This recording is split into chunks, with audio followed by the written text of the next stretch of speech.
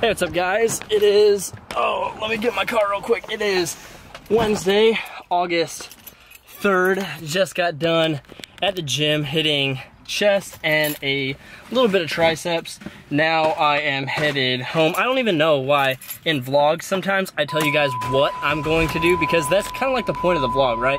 Wouldn't you think that um, following me through my day, I'm basically showing you what I'm gonna do? Rather, I don't need to tell you what I'm gonna do. But um, I am super behind on movies right now because uh, you guys know, I mean, my channel, as much as it is a fitness channel, I'm not gonna say as much as it is a fitness channel, but a lot of my channel is dedicated to like movies because, I mean, I'm as passionate about movies, if not more passionate about movies, um, as I am about fitness. So um, I am very behind in movies right now because Fair Week hit, uh, where I didn't go see anything. Uh, the week before that was very busy um, just getting things set up for it. And work has been extremely busy lately, and it's just been making me tired. And um, picking up new clients, and just everything that has been coming into my life lately uh, has kind of thrown me off of my movie schedule. I'm not complaining because uh, the busier I am, the more successful I'm gonna be.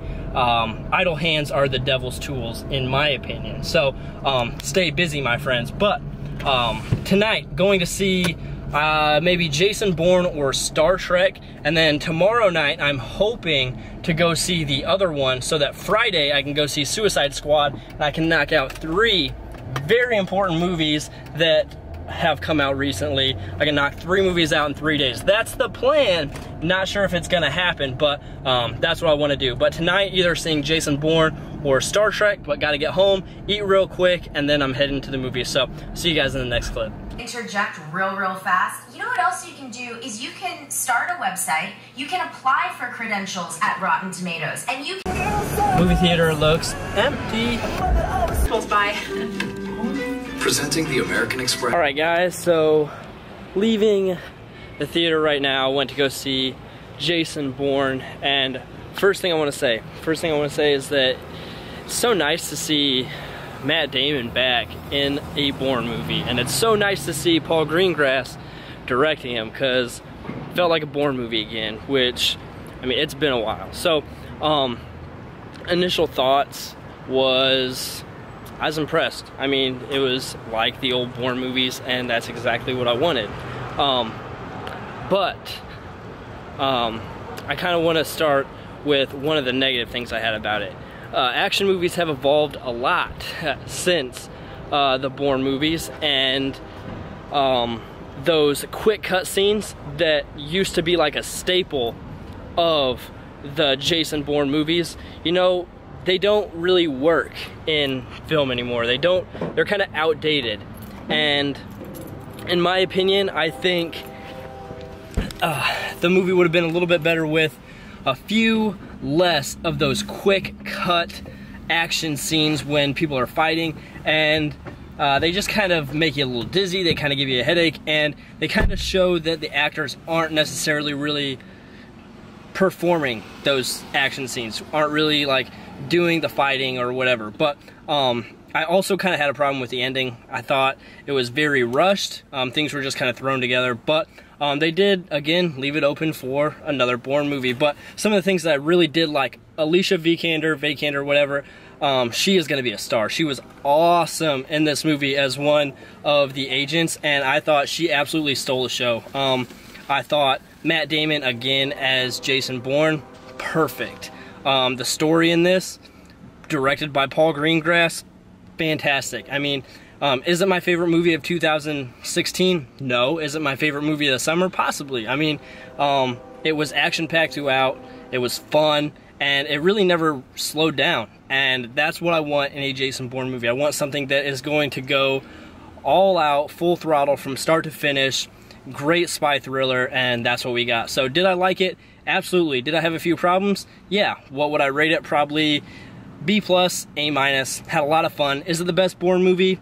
Probably not, but it was fun, and it was great to see Matt Damon as Jason Bourne again. And again, great to see Paul Greengrass directing it. I would love to see another Bourne movie, but we'll see. About to head home, and uh, I'll see you guys in the next clip.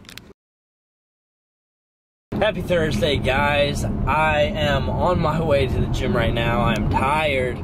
It is like 4.30 and it's just been a long week. Every single day at work. Um, it's been it's been long days at work and getting up at 3.30 in the morning, man, those are long days and without getting a nap or anything like that throughout the day, man, you really start to feel it. But, you know what? Um, it got me thinking as well I know I've said many times if you don't love what you do, quit and pursue what you love. But there's also another side to that because I'm working a sucky job right now. There's no ifs, ands, or buts. There's no way around it. I'm working a sucky job. But you know what? This sucky job makes makes me a good amount of money for the time being.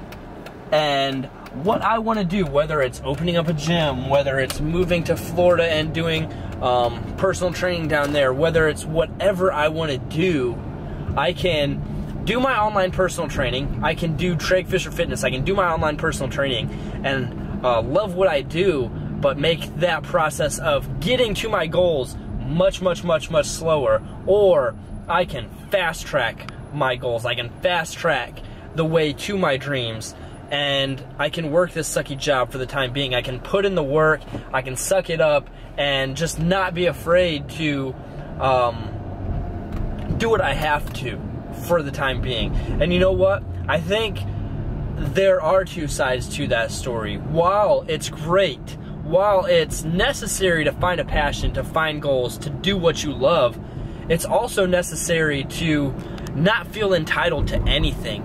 Sometimes you have to work a sucky job to get where you want. I mean, even if I would have graduated in a field that I would have been super passionate about, sometimes as soon as you're out of college, you have to work a sucky position to get where you want to go because you're not entitled to anything in this world. Uh, I don't want to burst your bubble, but I don't care who your parents are. I don't care who you know. I don't care what your name is.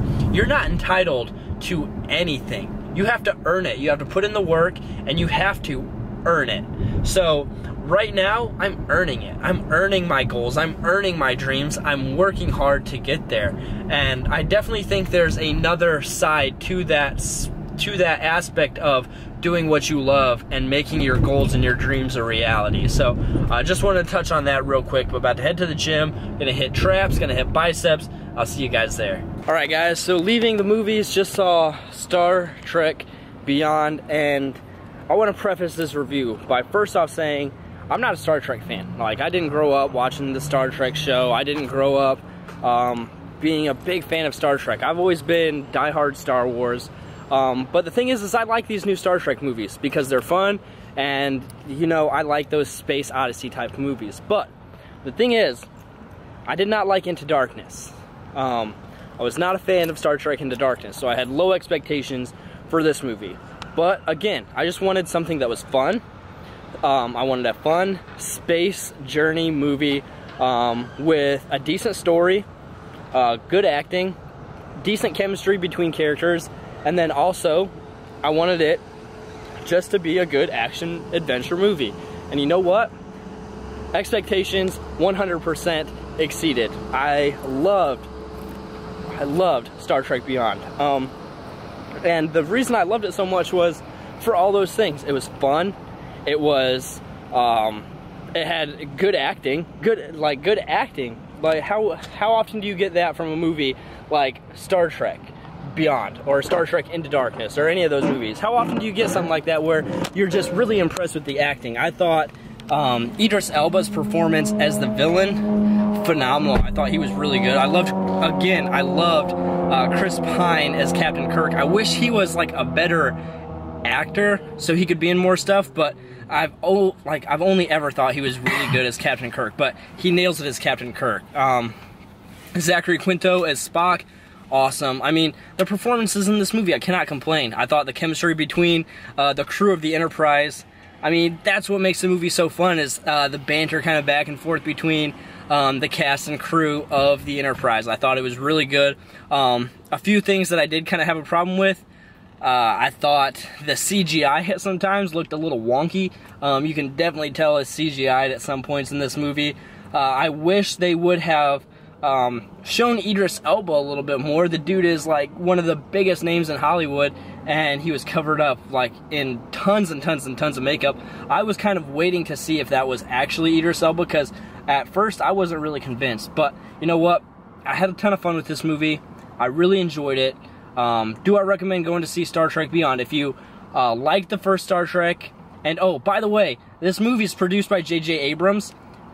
At, at one point in this movie, at one point in this movie, you will see the Death Star. And if you've seen this movie, you probably know what I'm talking about. They show us schematics of one of the space stations in this movie. So they kind of show like the blueprint of this space station and it's the Death Star. 100% it's the Death Star. So if you guys know what I'm talking about, comment down below because the Death Star does make an appearance in the Star Trek movie. But I really did enjoy it. Um, if I was to rate it, probably like a B, B plus. You guys are probably thinking after last night's review, I rate all my movies like a B or B plus. But um, I really did enjoy this movie. It exceeded my expectations. Was a perfect no, but it was a ton of fun. But I had to head home, relax, probably edit up a vlog that you guys are probably going to see before this one, and I'll see you guys in the next clip. Hey, what's up guys? It is Friday, August 5th. I am tired. I'm sore. You guys ever get to the end of your week and you're just like, ugh, I need a nap. Well, that was me, and I came home and I had work to get done. I had plans to send out to new clients, and um, I like to I like to get those sent out as soon as possible. Um, sometimes I get kind of behind in work. I admit it. Um, I'm tired from like uh, I'm tired from my job, and I come home. And every once in a while, I don't get plans out as soon as I'd like to. But today, came home, was tired, um, but sent the plans out. Kind of was taking like a half-ass nap for like an hour. Um, but I wasn't ever really asleep. And now I got to go to the gym and do legs, and I wish I would have just like committed that hour um, and just slept. Not tried to like watch YouTube videos, get in the mindset to go to the gym. Just slept. I wish I would have just committed to it because now I'm still tired. Um, I don't feel any more awake than I did um, before I kind of like took a little bit of a nap or whatever it was. But I'm about to head to the gym, hit legs, and uh, see you guys there. Alright guys, so leaving the gym now and I'm um, just to be talking over some of the clips from today's workout, which was only squats. I didn't do any accessory stuff, just squats, and I was aiming for heavy doubles. And quite frankly, I don't even know how to explain how I did what I did today. Uh, I hit 315 for a double, not bad. I put 325 on the bar, hit that for a double not bad. I hit 335 for a double, and that second rep, I struggled a little bit, just a little bit, but for the most part, it went up pretty smooth, and I decided, why not? I'm tired, I don't have anything to lose, I haven't gone very heavy in a while, so I put 350 on the bar, 350 pounds, which would tie my all-time PR for doubles, and somehow, some way, I got 350, 350 pounds up twice. I can't explain it, especially with how tired I was going into that workout. Um, I just had my headphones on and I went for it. I committed to it, and you guys saw uh, when I got that first rep, I stood there for a second contemplating, do I want to do this second rep because that first rep was hard, that first rep was heavy. But you know what? If you commit to it, you really do commit to it. A lot of times, your body is strong enough to hit certain weights if you mentally commit to it. Sometimes your mind can psych you out and tell you you're too tired, tell you you're not necessarily strong enough to hit that. Guaranteed, if you truly set your mind to it. Now, I'm not saying I would have been able to hit like 400 for a double or even 365 for a double, but when you know in your and you commit in your mind that you can do it, a lot of times when you have a weight that's kind of right there teetering on the edge of difficult and uh, maybe reaching a little bit, it's mind over matter. And I committed to it, I got it. Then I hit 225 for a set of 10 afterwards, and that was it. And that was it, that's all I could take. But um, on my way home now, I'm going to grab something to eat real quick, head to the theater, going to see Suicide, Suicide Squad tonight. Super pumped. Uh, I'll let you guys know what I think of the movie afterwards, but um, right now I need some food after that workout. Alright guys, so just left the theater, went to see Suicide Squad. Uh, taking not gonna give my review right now because the movie got over with about 20 minutes ago. I sat outside in the hallway of the movie theater for all 20 of those minutes. As you can see, we're taking little baby steps right now because my quads were as cramped up as I think they have ever been in my entire life.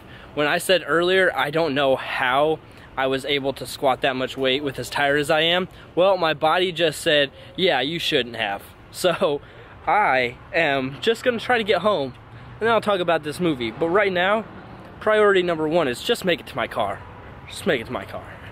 Alright guys, so home from the movies now and my quick thoughts on Suicide Squad. So first and foremost, um, in 2016 there are three movies that I have been anticipating more than anything.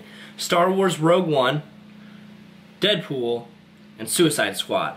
So I was very excited to go into this movie. Very, very, very excited to see Suicide Squad on the big screen. And earlier this week, when some other YouTubers and critics started to see this movie and the reviews were not all positive. I'm going to be honest, I was a little disappointed, but I ignored those. I did not read any reviews, I didn't watch any YouTube videos or anything about Suicide Squad, but I did hear that some of them were negative. So um, I lowered my expectations a little bit, but I still stayed very optimistic and still very excited to see Suicide Squad on the big screen. And you know what? When I went into this movie, I thought it was a ton of fun. I really, really enjoyed it. Sure, was it perfect? No. Sure, were there problems with it? Yes. And I'm going to talk about those. But for the most part, I had a lot of fun with it.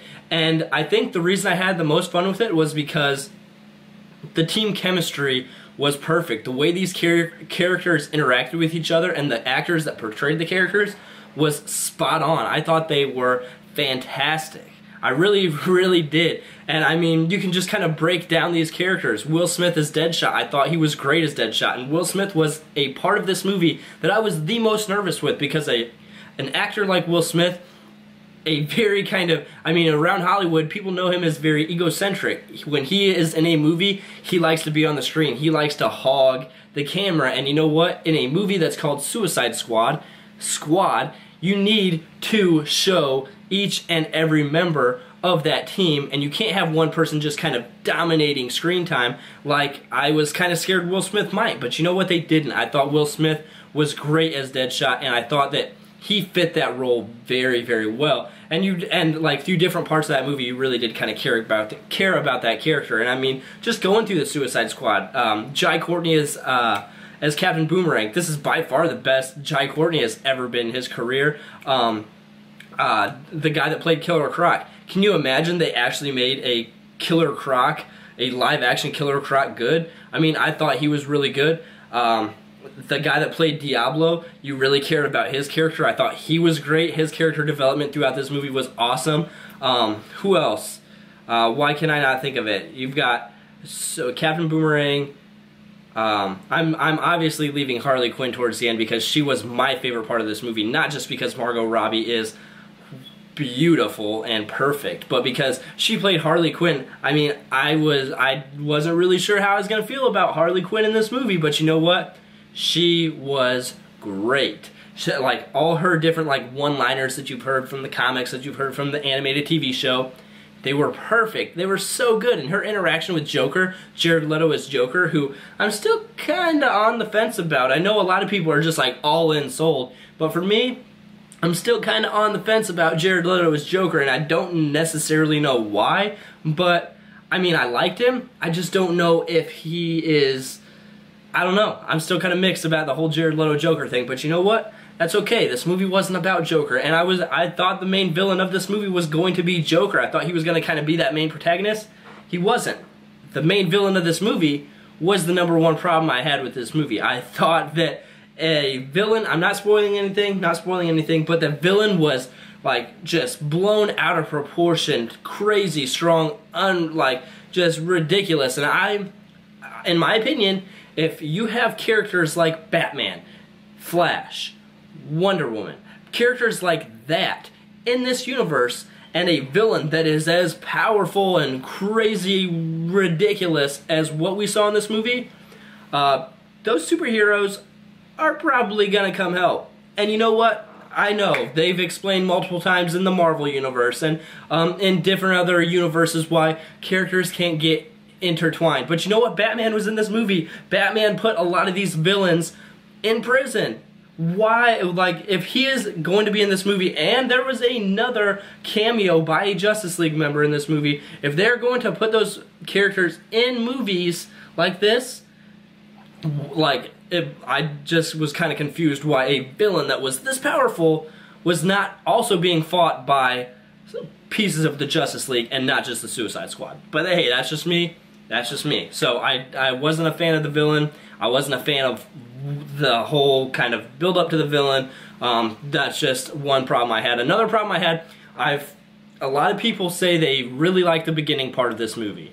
I didn't. The first 30 minutes of this movie where they're introducing the backstory of the characters, I wasn't a fan of. I know some people might say, well, Tregg, you need to have those backstories so people that don't understand these characters can kind of get to know them. You know what? No, you don't. Because in Guardians of the Galaxy, they didn't have those flashback scenes for Gamora. They didn't have flashback scenes for Star-Lord. They didn't have flashback scenes for Rocket and Groot and Drax. But you know what? Through creative dialogue and context clues throughout the movie, you learned about these characters and you cared about these characters. And I think that Suicide Squad could have done that. I truly do believe and have faith that there are good enough writers and directors and producers out there that can do that and they don't just have to open up a file and do what Batman v Superman did when they just re- you open up a file, you look at the character, somebody talks about the character, and then boom, you're instantly in their backstory. I think it's kind of lazy. Sure, D- what were those little backstory flashbacks entertaining? Yeah, they were, but I just thought that they could have done it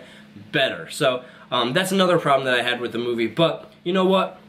Overall, I really did enjoy it. I had fun with it. I thought this movie did a lot for the DC universe, showing that the DC universe doesn't have to be so serious and dark and um, everything that Batman v Superman was. I did not like Batman v Superman, but this movie review is not about Batman v Superman. Um, I thought Suicide Squad was fun. I thought it made you care about some of the most despicable villains in the DC universe, and um, that's what I enjoyed. I enjoyed the team aspect. I enjoyed the fun ride that it was. Oh, by the way, um, I just talked about the Suicide Squad, but you've got, uh, uh, shoot, what's his name, that plays Rick Flag, and then also Amanda Waller, kind of like the human uh, leaders of the Suicide Squad, the ones that kind of organized it and then kind of led them in their journey. Um, I thought they were great. I, I, really did. I thought they were great. Um, I I liked their kind of. Um, I liked how they were put into this movie as kind of being in charge of the Suicide Squad, kind of having total power over these characters that are so much stronger than them but because of certain different things, they have complete and total control over them. And I thought um, that the way they played off in this movie was really good. But um, that's kind of wrapping up my thoughts on Suicide Squad. If I was to give it a rating, probably a B minus or a B, um, just because I thought the beginning part could have been better, and I thought the villain and the ending was just a little bit too ridiculous. Um, that's just my opinion. Um, so sure, um, B minus or a B is probably where I'd put it. But you know what? Again, I had a lot of fun with it, and I thought it was really good. Do I recommend going to see it in theaters? Absolutely. Go see Suicide Squad in theaters. It's a ton of fun, and I definitely think you're going to enjoy it. But um, this video is probably ridiculously long with three movie reviews, three days worth of vlog footage. So hopefully if you guys have made it this far, um, you enjoyed the video. If you did, make sure to give it a thumbs up. If you haven't subscribed yet, go hit that red subscribe button. www.treggfisher.com for online personal training. I'll talk to you guys in the next one. Peace.